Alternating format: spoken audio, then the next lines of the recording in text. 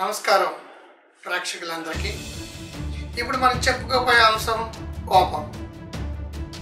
తన కోపమే తన శత్రువు అని ఎప్పటి నుంచో మనకి ఒక శతకాల్లో చెప్తూ వచ్చారు. శాంతము లేక సౌఖ్యము లేదని త్యాగరాయ కృతిలో కూడా ఉంది. ఈ మధ్య అర్జున్ రెడ్డి అనే సినిమా వచ్చింది. అతనికి అన్నిట్లోని ఫస్టే అకాడమిక్స్లో ఫస్ట్ స్పోర్ట్స్లో ఫస్ట్ ఎక్స్ట్రా సర్క్యులర్ కరిక్యులర్ యాక్టివిటీస్లో ఫస్ట్.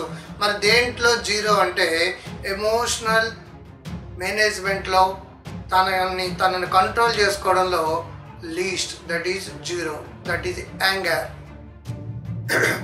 ఒక ప్రతిభావంతుడు ఒక కోపాన్ని కంట్రోల్ చేసుకోకపోతే ఎన్ని కష్టాలు అనుభవిస్తారో ఈ మధ్య కాలంలో వచ్చిన మీ అర్జున్ రెడ్డి సినిమా ద్వారా తెలుసుకోవచ్చు.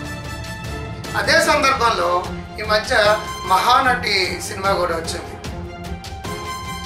తన ఎదురవాళ్ళ మీద కోపంని తన మీద చూపించుకుంది. తద్వారా తను సర్వనాశనం అయిపోయింది. వాట్ ఇట్ మే బి కోపాల్లో ఎన్నో రకాలు ఉన్నాయి. ప్రధానమైనవి ఆరు రకాలు. ఒకటి ఎక్స్ప్లోడర్స్.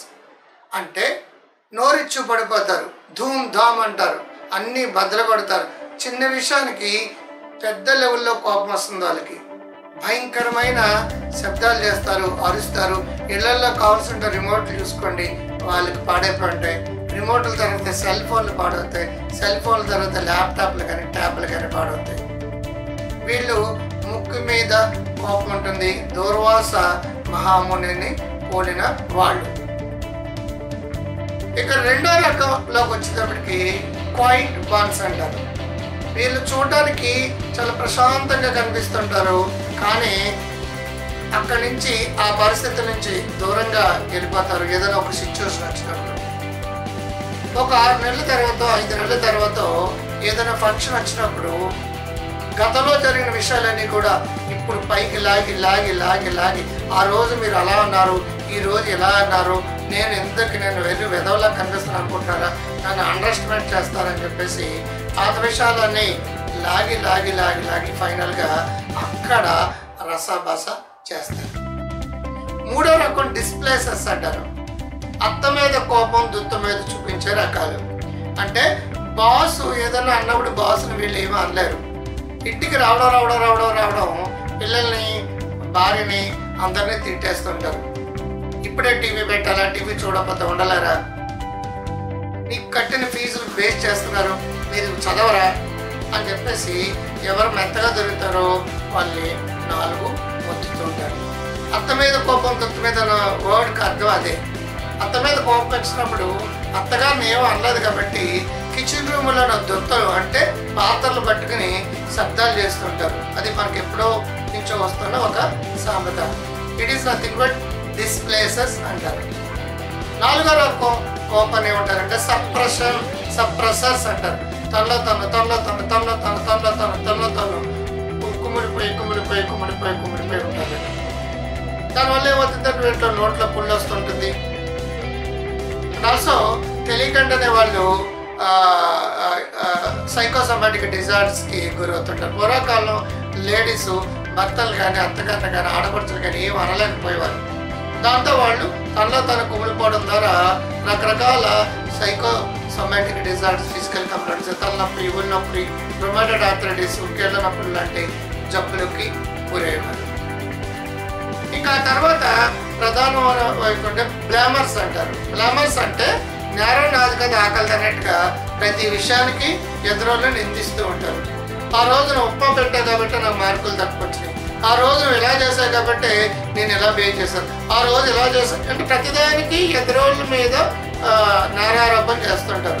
ప్రతిదానికి ఎదురోళ్ళే కారణం ఏంటంటే తనకి ఎందుకు కోపం వచ్చిందంటే బికాజ్ యూ ఓన్లీ అని చెప్తుంటారు. ఒక వేలు ముందు చూపిస్తే నాలుగు వేలు వెనక్కి చూపిస్తున్న విషయం మర్చిపోకూడదు ఆ తర్వాత అన్నిటికంటే మంచి కోపం ఏంటంటే ద ప్రాబ్లం సాల్వర్స్ అంటారు.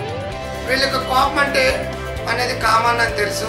కోపానికి ఈ కారణం ఏంటో తెలుసుకుని దాన్ని సాల్వ్ చేసుకునే విధానంలో అన్వేషిస్తారు. అంతే తప్పించి అందరి మీద నోరించి పడిపోవడం లేదంటే అలగడం లేదంటే రకరకాల విన్యాసాలు చేయడం అనేది చేయరు. ద ప్రాబ్లమ్ సాలర్స్ అనేది ఆరోగ్యకరమైన కోపాన్ని తగ్గించుకునే వ్యక్తులు చేసే పని. వీళ్ళు ఎమోషనల్లీ వెల్బీయింగ్గా వెల్బీయింగ్ ఉన్న వాళ్ళుగా చెప్పుకోవచ్చు.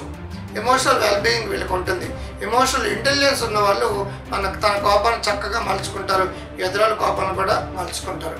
వాట్ ఇట్ మే బి యాంగర్కి ముందు ఒక డీ డీ పెడితే డేంజర్ అయ్యింది.